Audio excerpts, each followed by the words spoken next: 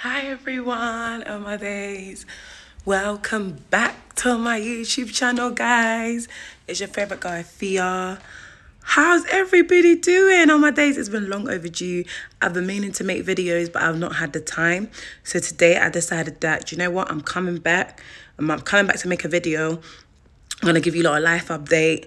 So what I really want to talk about today is my first time going to Dubai, my experience what I saw, how I felt. Did I enjoy it? Would I go back? Would I recommend it? And yeah. So let's talk about my first time going to Dubai. How did I find Dubai? Oh my God, it's so windy. I have to go back inside.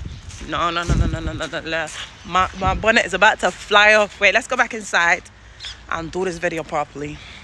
So yeah, I'm back inside now. Let's talk about Dubai. In my point of view, when I went, I feel like I didn't know that Dubai was so expensive. And I'm the type of person, I like going to nice places. I like eating out in nice places. I like seeing beautiful things. So when I go on holiday, I like to go on holiday to explore. So I'm going on holiday and I'm typing in best restaurants near me. And I'm looking at the one that has the best review and I'm going to go to that one. And most of the time, that is going to be the most expensive. So Dubai, I planned this Dubai trip with my friend. We planned to go together. And weeks coming up to us actually going to the trip, we fell out because she was just moving weird. And I just thought, you know what? I'm going to do a solo and I'm going to go by myself and I'm going to enjoy. So I took myself to Dubai, booked my hotel, booked my flight. At first, I stopped off at Romania because I wanted to get, I had a, a little chip in my teeth. I wanted to get fixed and I wanted to get my teeth whitened. But they, when I got there, they didn't do it for me. So I took advantage when I was in Romania and used their spa, their thermal spa. And then I proceeded to go into Dubai.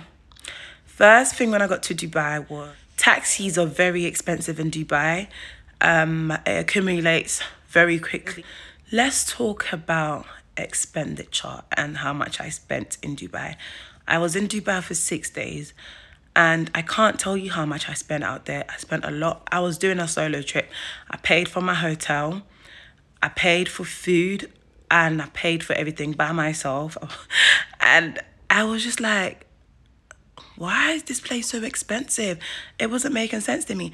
I'll go to a restaurant and I will buy food. By the time I finish, I'm paying like, when I obviously convert to English money, I'm paying like £200. Sometimes I'm paying £70 for one person. Cocktails in Dubai is like £15.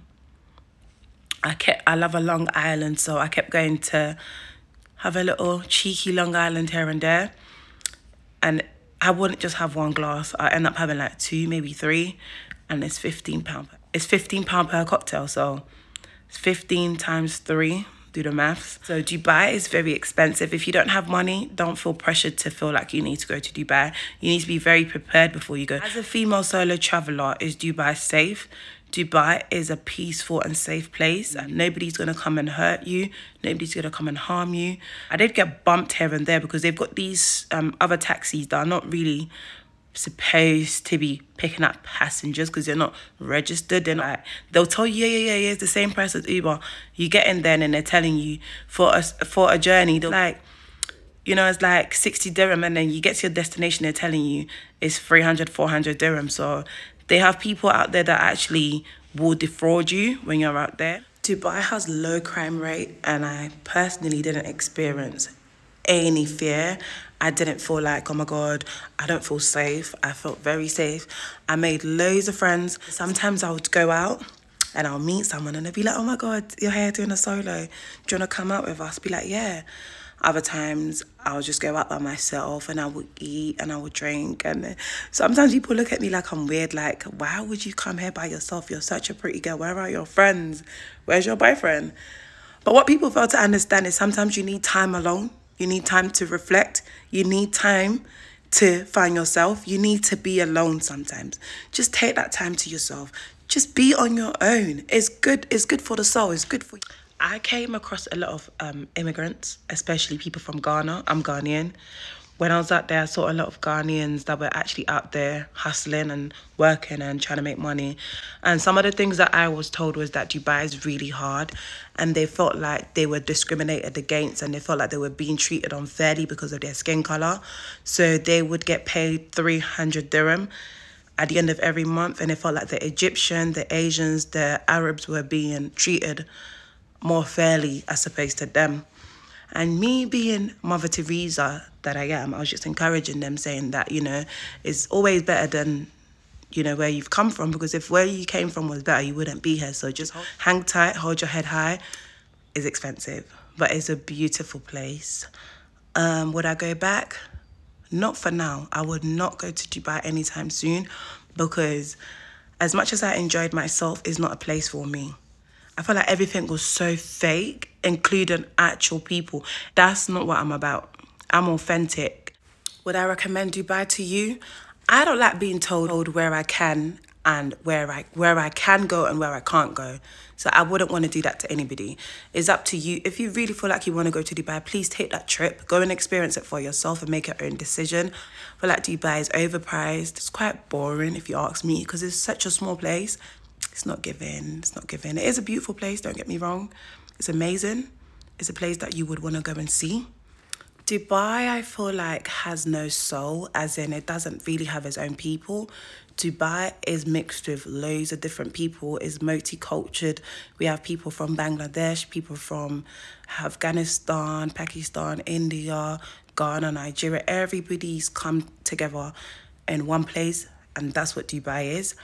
And um, I felt safe, but I just felt like some taxi drivers can be very dangerous.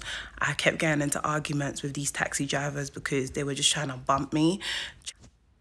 Another thing that I felt, is I feel like people over, I feel like people overhype Dubai. Because when I got there, I was like, is this what people keep hyping up about? What's this? and being out there as a female solo traveler, I felt like I was discriminated against. I felt like people were judging me. People look at me and be like, order, like, I mean, I feel like they're trying to say that someone's ordered me like to come there. I don't know. But I went there with my own money and I feel like people need to stop judging people. Some of us work really hard and we are allowed to enjoy our money. It's okay to see a woman that's very independent women are capable of doing things on their own. It doesn't always need to be a man's money. It doesn't always need to be a man's taking care of a man sponsoring a woman. I did it on my own with my hard earned money. So I feel like you just shut up and stop being judgmental. But yeah, obviously there is a lot of sex workers and there's a lot of females that go out there to obviously do what they're doing, but not all of us. So please don't come and judge me and don't come and put me in the same category just because you see other people doing it. As in. Dear life. If you catch me being happy, please just let me enjoy you.